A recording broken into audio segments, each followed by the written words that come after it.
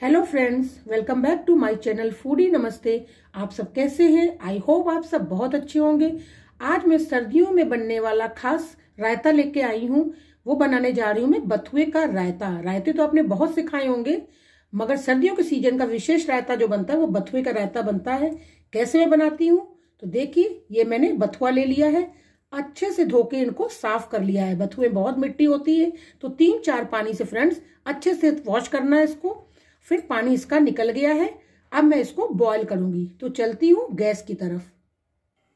अब gas on कर लेते हैं और इस पर रख देते हैं एक पैन पैन में डाल देते हैं एक गिलास के लगभग पानी। पानी होने देते हैं। अब इसमें बथुए को डाल लेते हैं और इसको बॉईल होने के लिए रखते हैं। अब सारा बथुआ मैंने इसमें डाल दिया, अब इसको एक ढक्कन से ढक देंगे और पाँच सात मिनट तक उबलने देंगे।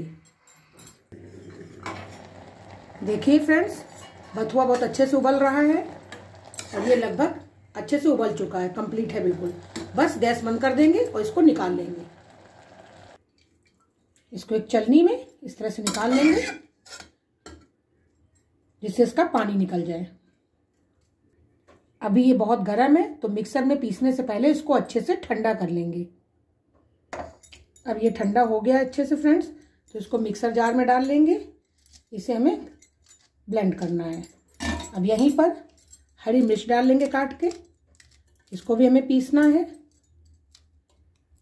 अब फ्रेंड इसको बंद कर लेते हैं और इसको पीस लेते हैं। बथुआ फ्रेंड्स बहुत ही गर्म होता है, इसीलिए सर्दियों में खाया जाता है। तो चलिए इसका पीस लेते हैं, फिर रायता बनाने की प्रोसेस शुरू करते हैं। फ्रेंड्स ये देखिए, अच्छे से पीस चुका है, तैयार है बिल्कुल।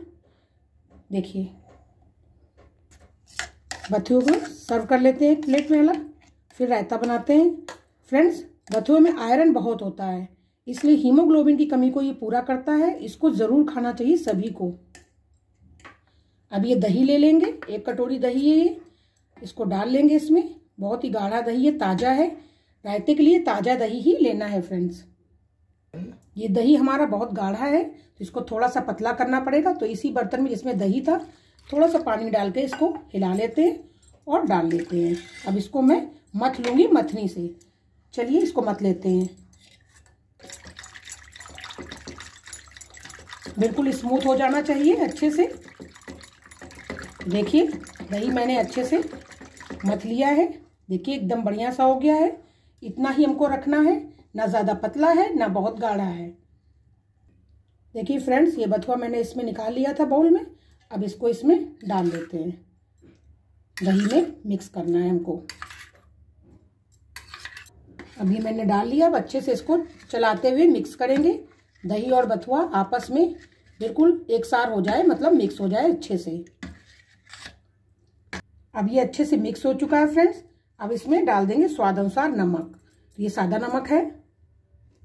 थोड़ा सा काला नमक भी डालेंगे। ये है भुना जीरा पाउडर, आधा चम्मच ये भी डाल देंगे। थोड़ी सी कुटी हुई लाल मिर्च डाल देंगे। अब इन सभी चीज़ों को अच्छे से मिक्स करते हुए चलाएँगे। ये देखिए, कितना बढ़िया रायता बनकर तैयार हो गया है। अब इस पर फ्रेंड्स तड़का भी लगाना है तो चलिए तड़का लगा लेते हैं। मैंने गैस ऑन कर दी, इस पर रख देंगे तड़का लगाने के लिए एक पैन। दो चम्मच ऑयल डाल देंगे। अब इसको अच्छे से गर्म होने देंगे। अब तेल अच्छे से गर्म हो गया तो जीरा डाल देंगे एक चम्मच भरकर। जीरा गर्म हो गया है तो हींग डाल देंगे। इसमें दो सूखी लाल मिर्च डाल देंगे। अब अच्छे से भून लेंगे।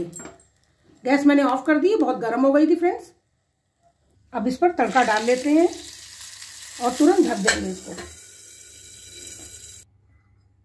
देखिए, अब ढक्कन खोल के आपको दिखाते हैं कितना यम्मी रायता लग रहा है। तड़का भी बहुत अच्छे से लगा है और एकदम ये देखिए गाढ़ा बना है। मैं आपको चला के भी दिखाती हूँ। देखिए कितना गाढ़ा है और टेस्टी भी बहुत ही होगा। हेल्दी भी फ्रेंड्स बहुत है, इसको ज़रूर बनाएँ। अपने फैमिली फ्रेंड्स पे शेयर करें रेसिपी आई होप आपको आज की रेसिपी बहुत अच्छी लगी होगी। रेसिपी अगर अच्छी लगी हो फ्रेंड्स तो वीडियो को लाइक कर दें शेयर कर दें। चैनल पर नए हों तो प्लीज़ सब्सक्राइब कर लें। मिलते हैं आपसे फिर एक नए वीडियो में नई रेसिपी को लेकर के। तब तक के लिए बाय बाय टेक केयर